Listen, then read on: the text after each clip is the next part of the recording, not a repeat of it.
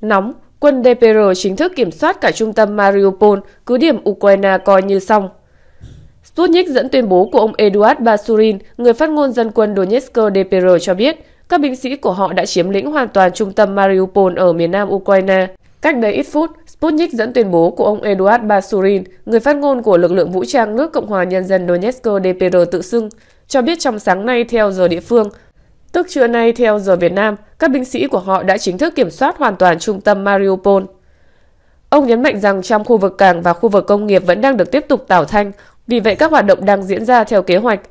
Như vậy là chiến sự ở Mariupol vẫn chưa kết thúc hoàn toàn, nhưng rõ ràng giờ phút quân Ukraine thất thủ có lẽ đã rất gần. Cuối tuần trước, lực lượng đặc nhiệm Chechnya đã tuyên bố rằng quân Nga đã kiểm soát được khoảng 90 đến 95% diện tích Mariupol. Trong một thông báo riêng rẽ khác, Cộng hòa Nhân dân Donetsk DPR tự xưng cho biết đã có ít nhất 7 dân thường bị thương khi lực lượng Ukraine nã đạn vào khu vực do dân quân mới kiểm soát được.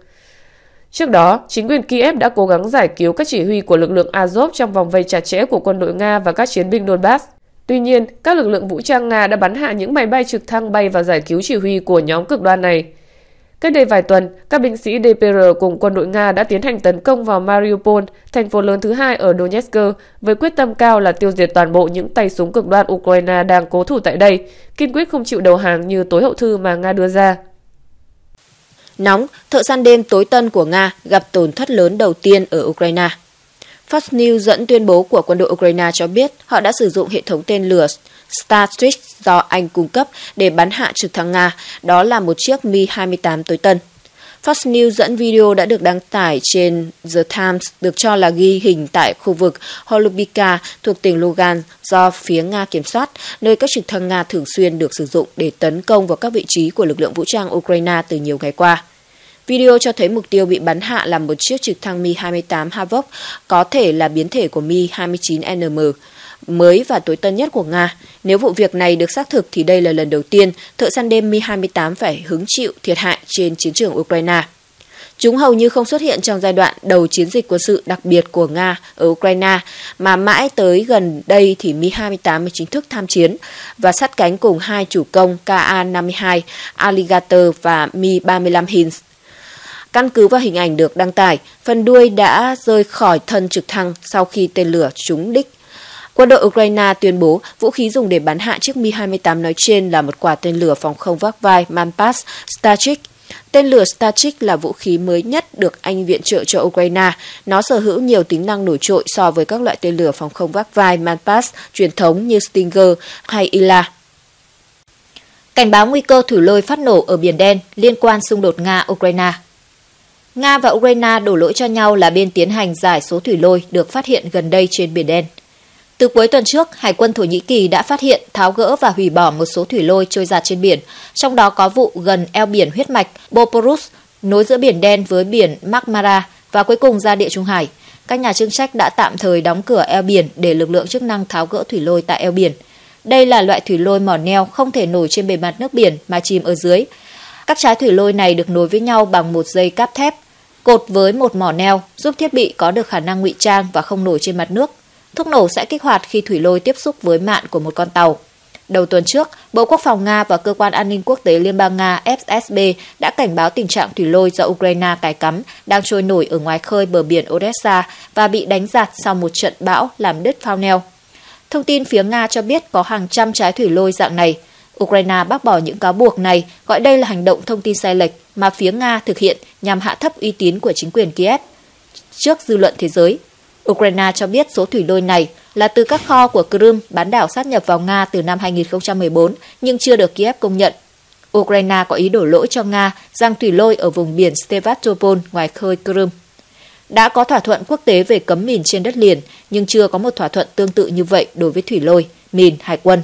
Các quốc gia thậm chí được phép giải thủy lôi trong vùng lãnh hải của mình để ngăn chặn một cuộc tấn công từ bên ngoài.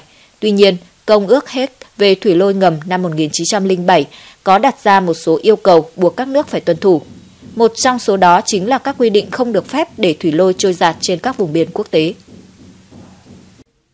Bộ Tổng tham mưu lực lượng vũ trang Ukraine ngày 3 tháng 4 lên tiếng khẳng định cường độ phóng tên lửa và không kích của quân Nga đã giảm dần sau đàm phán. Trong khi đó, Điện Kremlin nói rằng các cuộc đàm phán song phương không dễ dàng. Trên Facebook, Bộ Tổng tham mưu lực lượng vũ trang Ukraine ngày 3 tháng 4 lên tiếng, khẳng định cường độ phóng tên lửa và không kích của quân đội Nga đã giảm, đồng thời xác nhận Nga tiếp tục rút quân ở phía bắc Ukraine. Tuy nhiên, phía Kiev vẫn cáo buộc lực lượng Nga trên đường rút quân đã cài mìn tại nhiều con đường. Hiện Nga chưa đưa ra bình luận về những thông tin này. Ngoài ra, Tổng thống Ukraine Volodymyr Zelensky tối ngày 2 tháng 4 nói rằng các lực lượng Nga cố kiểm soát miền đông và nam Ukraine, than phiền các nước phương Tây không cung cấp đủ hệ thống chống tên lửa. Tổng thống Zelensky ca ngợi những lực lượng bảo vệ thành phố Mariupol, nhấn mạnh rằng sự kháng cự của họ đã cho phép các thành phố khác có thời gian củng cố phòng thủ. Về phía Nga, phát ngôn viên Điện Kremlin Dmitry Peskov ngày 2 tháng 4 cho hay các cuộc đàm phán với Ukraine không dễ, nhưng nhấn mạnh điều quan trọng là các cuộc đàm phán vẫn tiếp diễn. Ông Peskov còn nói rằng Moscow có thể sẽ tiếp tục đàm phán với Ukraine ở Belarus, nhưng Kiev đã phản đối ý tưởng này. Trước đó, cả hai bên đều cho rằng cuộc đàm phán song phương ở Thổ Nhĩ Kỳ hôm 29 tháng 3 đều có ý nghĩa và mang tính tích cực. Sau cuộc đàm phán đó, Thứ trưởng Bộ Quốc phòng Nga Alexander Fomin tuyên bố Nga sẽ giảm mạnh các hoạt động quân sự xung quanh thủ đô Kiev và thành phố Chernihiv thuộc phía bắc Ukraine. Tình báo Mỹ mới đây cho rằng Nga thay đổi chiến lược để tập trung giành quyền kiểm soát Donbass và các vùng khác ở đông Ukraine với mục tiêu sẽ hoàn thành trước ngày 9 tháng 5. CNN hôm nay dẫn lời một số quan chức Mỹ cho rằng Nga đang chịu áp lực thể hiện chiến thắng của chiến dịch quân sự ở Ukraine và miền Đông là nơi họ có nhiều khả năng đạt được điều đó nhất. Một quan chức thêm rằng Nga có thể đặt mục tiêu giành kiểm soát Donbass và ở các khu vực khác ở đông Ukraine trước ngày 9 tháng 5, ngày chiến thắng của Nga. Ngày 9 tháng 5 là ngày lịch sử với Nga, đánh dấu sự đầu hàng của Đức Quốc xã trong Thế chiến II, thường được kỷ niệm bằng cuộc duyệt binh lớn của quân đội và khí tài quân sự trên quảng trường đỏ trước Điện Kremlin.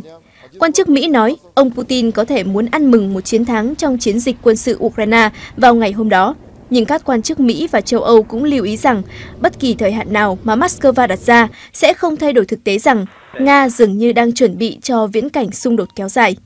Các quan chức Mỹ cho biết còn một số lý do khiến họ suy đoán về thời hạn tháng 5.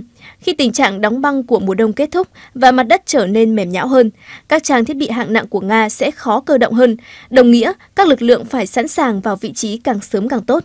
Giới chức Ukraine cũng đồng tình với nhận định này. Trước đó, thư ký Hội đồng An ninh Ukraine Oleksiy Danilov từng khẳng định trước ngày 9 tháng 5, ông Putin đặt mục tiêu là tổ chức cuộc duyệt binh chiến thắng cho xung đột này. Cựu Thủ tướng Ukraine Arseniy Yatsenyuk hôm 1 tháng 4 cho biết người Ukraine tin rằng họ sẽ phải đối mặt với một tháng phức tạp và khó khăn. Mục tiêu của Moscow vốn là tiếp quản Ukraine nhưng đã thất bại. Theo ông, ông Putin hiện giờ đã chuyển sang kế hoạch B và kế hoạch này có thời hạn Mỹ cũng đánh giá rằng ông Putin chuẩn bị bổ nhiệm một chỉ huy chung cho toàn bộ chiến dịch để đạt được thành công lớn hơn, theo hai quan chức Mỹ. Washington tin Moscow sẽ chỉ định một tướng tham chiến ở miền nam Ukraine, khu vực mà Nga đã thực hiện thành công các mục tiêu. Được biết, sau vòng đàm phán Nga-Ukraine ở Thổ Nhĩ Kỳ, Moscow thông báo giảm mạnh hoạt động quân sự gần Kiev và Chernihiv để tạo điều kiện thuận lợi cho quá trình trao đổi giữa hai bên và dồn lực sang Donbass.